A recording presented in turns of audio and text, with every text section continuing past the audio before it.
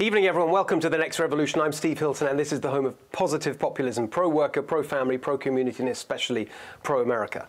Last week, we laid out the origins of wokeism, the hateful, intolerant ideology that's captured the most powerful institutions in America. With its cruel cancel culture, it's as divisive and poisonous as McCarthyism, but much more dangerous because it's not just a deranged obsession of here today, gone tomorrow politicians, or some fad that exploded after the death of George Floyd.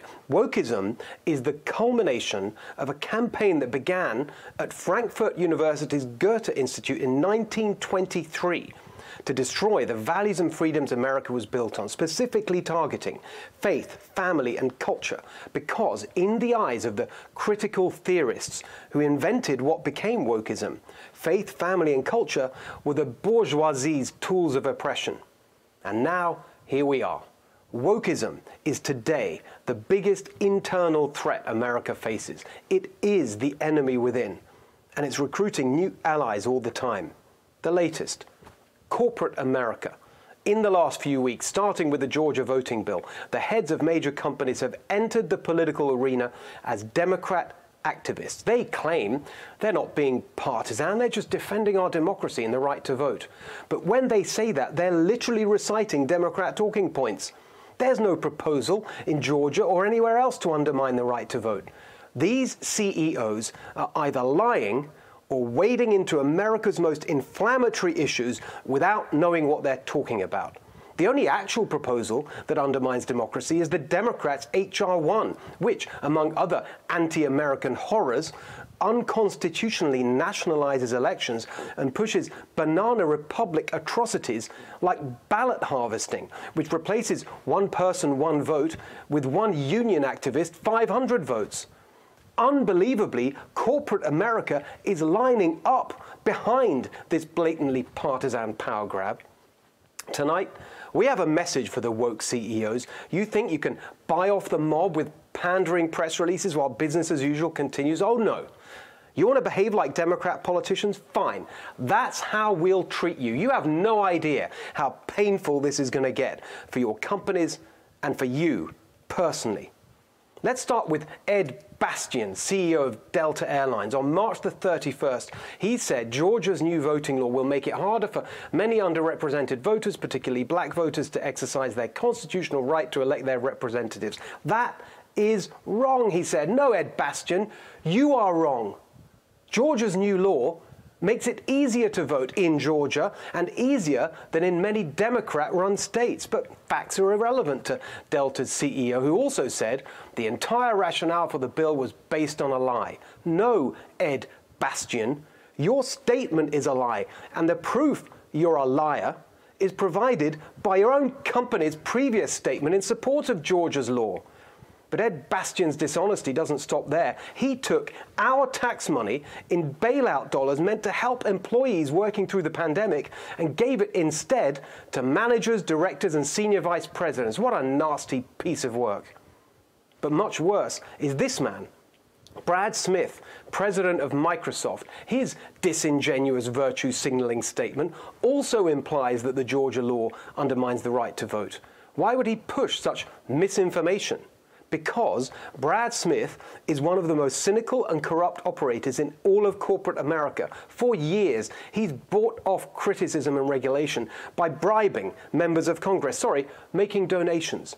Microsoft has given over $20 million to Republicans to convince them that they're not part of big tech. But on the biggest issue, the one that matters most for America's future, Microsoft is worse than big tech. Every Republican member of Congress, every staffer, every conservative policymaker who's been wined and dined and financed by Brad Smith. Listen to this China to view Windows code. China uses access to Microsoft source code to help plot cyber warfare.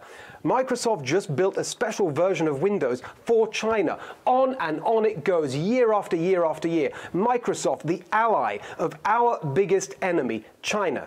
And now the ally of our most dangerous internal enemy, wokeism. Memo to every Republican lawmaker Microsoft is Chinasoft. If you work with Brad Smith and Microsoft, you're siding with the enemies of America. But it's not just Microsoft you need to cut ties with. This is Coca Cola's utterly lamentable CEO, James Quincy.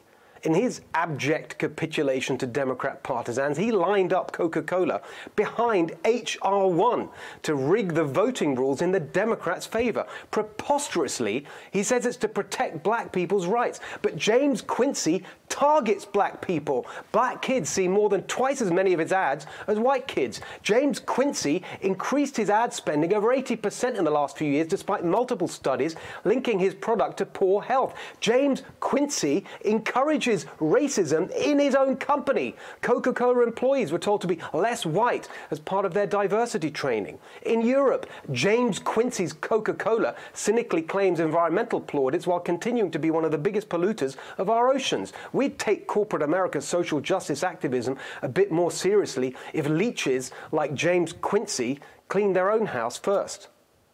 And here's another disgusting, two faced corporate hypocrite BlackRock's Larry Fink, chief executive of the world's largest investment firm, which is laughably trying to woke wash its sordid reality.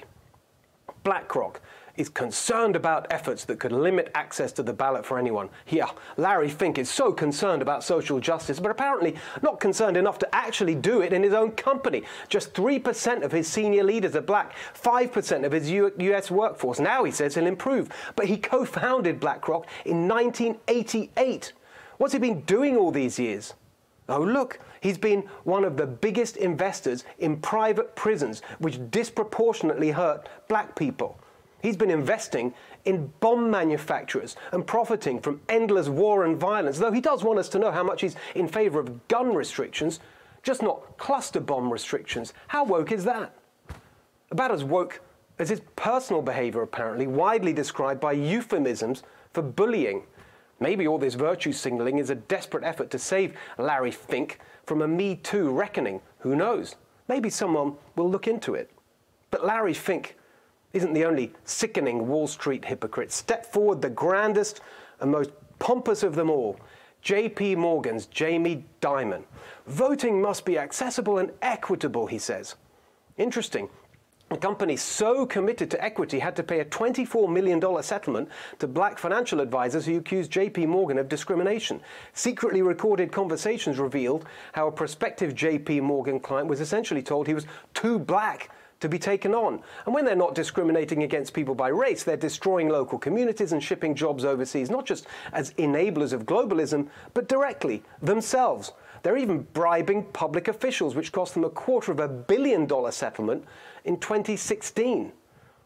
Jamie Dimon who presides over this stinking cesspit of corporate crimes against society, now says companies like ours have an extraordinary capability to help, not just with funding, but with developing strong public policy. Oh, fantastic. So instead of the people we elect, it'll be the corrupt ghouls of Wall Street writing our laws a new corporate activism, they call it. Hey, Jamie Dimon, why don't you do some activism on your conscience? Why don't you, Larry Fink, James Quincy, Brad Smith, Ed Bastian, and all the rest? Because you are everything that's wrong with American capitalism. You make the rich richer, the poor poorer, you crush small business, you destroy communities, you despoil America's beauty, and yes, you disproportionately hurt black people in this country. So spare us the woke virtue signaling. It won't save you from the mob, but now you've joined the Democrats, you can be sure sure the GOP won't save you from them either.